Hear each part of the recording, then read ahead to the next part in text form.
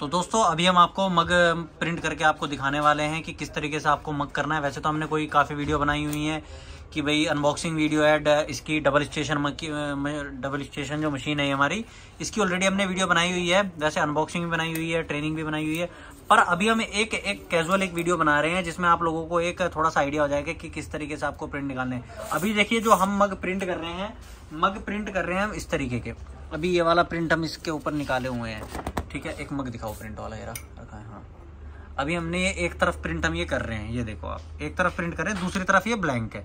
ठीक है कस्टमर की डिमांड थी कि सर हमें एक तरफ़ प्रिंट चाहिए तो वो आपको हम करके दिखाएँगे। ठीक है, अभी हम तो हमने प्रिंट कर लिया है। सबसे पहले तो आपको देखो प्रिंट निकालना है। अभी आप देख सकते हैं, ये पेपर हमने, हमारा है, जिसको हम बोलते हैं 120 ट्वेंटी का हमारा ये पेपर है। देखो वहाँ पे वो कंप्लीट हो गया है। और देखो, वहाँ पे टाइमर चला दिया है। ठीक है? हाँ इस पेपर की बात कर रहा हूँ, ये हमारा पूरा का पूरा क्विक ड्राई पेपर अब मैंने ये लिया हुआ है। इसमें हमने क्या किया छह प्रिंट निकाले हुए हैं। साइज़ के अकॉर्डिंग एक, दो, तीन, चार, पाँच और छह। छह प्रिंट अभी हमने निकाले हुए हैं छह मक के लिए। मतलब एक पेपर से आप छह प्रिंट निकाल सकते हो। अभी देखो कैसे करना है। आपको सबसे पहले इस तरीके से हमने एक लड़के ने कटिंग किया हुआ है, दिखा देता हूँ। ये कटिंग हमने करा हुआ है। ठीक है? देख पा रहे हो आप कटिंग हमने करा हुआ है। फिर आपको इस तरीके से मक के ऊपर लगाया हुआ है हमने। इधर सब्लिमेशन टेप लगाया। इधर हमने सब्लिमेशन टेप लगाया। इधर वाटर मार्क आता है इसके ऊपर पेपर के ऊपर तो दूसरी तरफ़ जो है वो प्रिंट करना है, ठीक है? इस तरफ़ इसमें वाटर मार्क है। तो ये अलग तरीके का पेपर है, नया पेपर है, आज ही आया तो हमने हमने सोचा ट्राई कर लेते हैं, तभी अपने कस्टमर्स को दिया जाए, जब हम पूरा का पूरा सेटिस्फाई हो जाए कि किस तरीके से ये काम करता है। देखो, इस मशीन का ना हमने टाइम टेम्परेचर क्या टाइम टेम्परेचर रखा हुआ है मशीन का? इस मशीन का। थ्री फिफ्टी हमने टेम्परेचर रखा हुआ है फेरानाइट में चल रही है, यहाँ पे आप फेरानाइट चेक भी कर सकते हो। दो इसमें, क्या नाम है पैड्स हैं, ये लेफ़्ट में और एक राइट में लिखा हुआ है लेफ़्ट का और राइट का, ठीक है? और आपका ये टाइमर हमने इसमें टाइमिंग क्या नाम है टाइमर रखा हुआ है नाइन्टी सेकंड है ना? नाइन्टी सेकंड हमने रखा हुआ है इसमें और टेम्परेचर रखा हुआ है थ्री फिफ्टी फेरानाइट में। ठीक है, अभी हमने मग के ऊपर लगाया हुआ है फ़ोटो अब आपको इस तरीके से इसके अंदर डालना है। अब आप देखिए, इस तरीके से मग के अंदर डालना है। इसको अलग कर देता हूँ। और यहाँ से इस तरीके से इसको बंद कर देना है। ये बंद करा लॉक करा हमने और दूसरे वाले को भी आपको लॉक कर देना। और यहाँ से आपका क्या होता है, जब आप इसको लॉक करते हैं तो मग ठंडा होता है। सिरेमिक आइटम है मग तो आपका ये ठंडा होता है।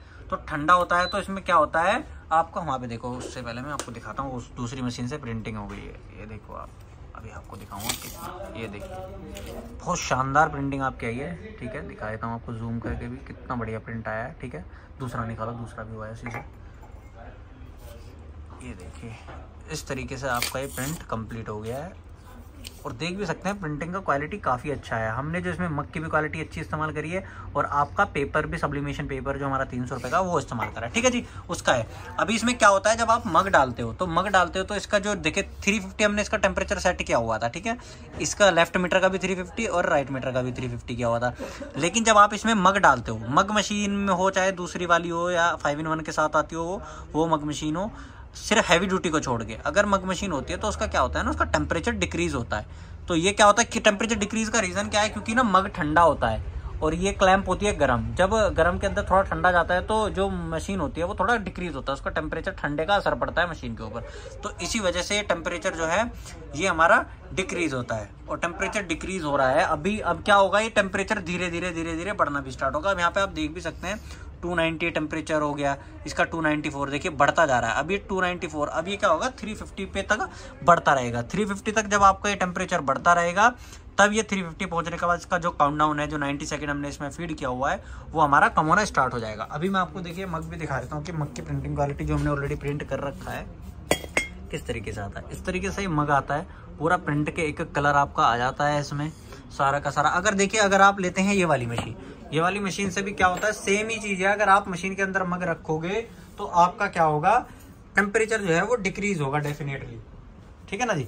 अभी ये मग है, अभी ये टेम्परेचर इसका इंक्रीज हो रहा है, ये आपको करके दिखाऊँगा। इसमें आप कोई सा भी मग उठा लोगे ना यहाँ से, आप यहाँ पे देखिए, आपका ये वाला मग है, जैसे मैजिक मग है। इसमें भी सेम प्रोसेस है आपका प्रिंटिंग करने का। ऐसा नहीं है कि प्रिंटिंग प्रोसेस इसका अलग है तो प्रोसेस अपना सेम ही रहता है। इसमें पैच मग अपने पास काफ़ी अवेलेबल है। पैच मग पे आप प्रिंटिंग करोगे, एक पैच मग में देख लेता हूँ, अगर यहाँ पे रखा हुआ है तो।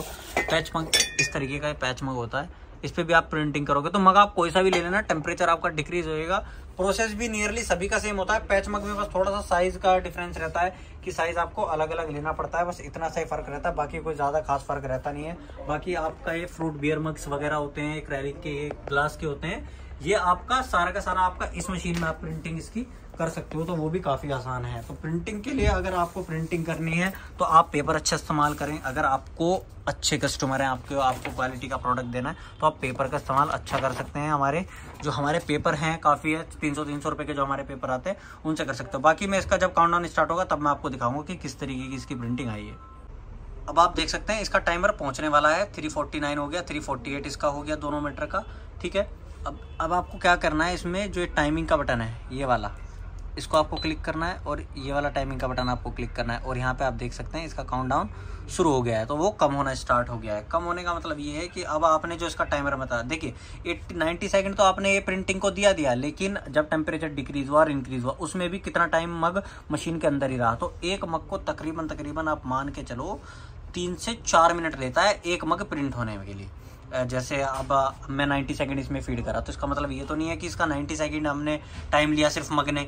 नहीं, उसका मतलब ये है कि 90 सेकंड तो सिर्फ़ इसका काउंटडाउन चला, लेकिन मग तो हमने इसमें पहले ही रख दिया था, जब 350 टेम्परेचर था, फिर वो टेम्परेचर डिक्रीज भी हुआ, फिर वो टेम्परेचर इंक्रीज भी हुआ। तो तकरीबन तकरीबन मान के चलो आप 300 से 400 सेकंड के करीब मेरे ख्याल से लग जाता है एक मग को प्रिंट होने के लिए। अगर वो सिरामिक का है इलेवन ओजेड या सिक्स ओजेड का, वो मैटर नहीं करता, कोई सा भी मग हो सकता है।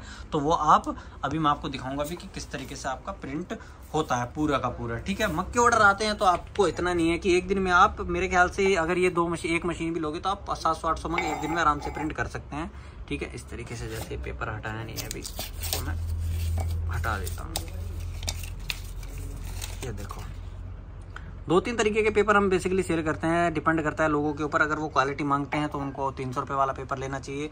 और अगर लोग क्वालिटी नहीं मांगते तो सौ रुपये वाले पेपर भी जा सकते हैं, जो सौ जीएसएम का। तो ये एक सौ बीस जीएसएम का पेपर है क्विक ड्राई एक इसमें एक पेपर और आता है, जिसको हम लेट ड्राई बोलते हैं, वो पेपर भी काफ़ी लोग इस्तेमाल करते हैं। तो उनका भी एक वीडियो मैं अलग से बना दूँगा। यहाँ पे आप देखो। ठीक है जी? आपका हो गया काउंट डाउन बिल्कुल ख़त्म। ज़ीरो ज़ीरो हो गया। अब आपको क्या करना है?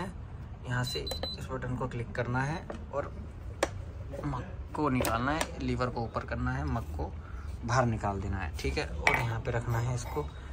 इस वाले को भी निकाल लेता हूँ मैं। ये रखती है, दोनों के दोनों मैंने यहाँ पे, ठीक है जी? और आपको मग के ऊपर से इस तरीके से निकालनी है।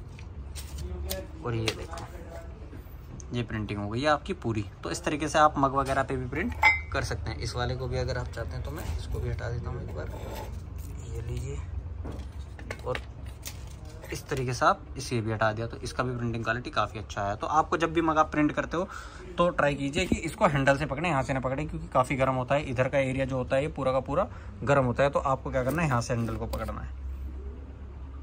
ठीक है जी? अगली वीडियो भी बनाते रहेंगे। इस तरीके की video T shirt V shirt की भी आती रहेंगी फ्रेम की भी आती रहेंगी। जो जो चीज़ें हमारे पास ऑर्डर आते रहते हैं ट्राई करेंगे कि आपको थोड़ा सा कंफर्टेबल वीडियो बनाए, ताकि आप लोगों के समझ में आए प्रैक्टिकली